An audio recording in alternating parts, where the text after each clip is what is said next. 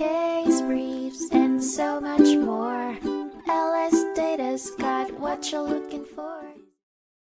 In Whitcomb v. Chavis, a 1971 Supreme Court case, six Indiana residents, five of whom were from Marion County, challenged the constitutionality of the state's districting and apportionment statutes for General Assembly elections. The plaintiffs argued that the multi member district in Marion County violated the Equal Protection Clause by diluting the voting power of minority interest groups, specifically African Americans and poor people living in the ghetto area of the county. The Supreme Court found that the at large election system in Marion County's General Assembly indeed violated the Constitution's Equal Protection Clause. It determined that the voting strength of African American residents in the Center Township ghetto was being diluted and ordered statewide redistricting due to significant malapportionment in both Senate and House districts. The court held that Marion County's multi member district violated the Equal Protection Clause, necessitating statewide redistricting. It also noted that using decennial reapportionment is a rational way to avoid frequent changes due to population shifts.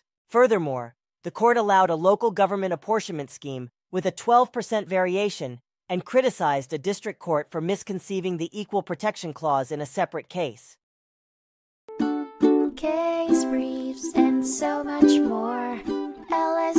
Got what you're looking for. Visit lsd.law, elevate your mind. Leave the stress of class.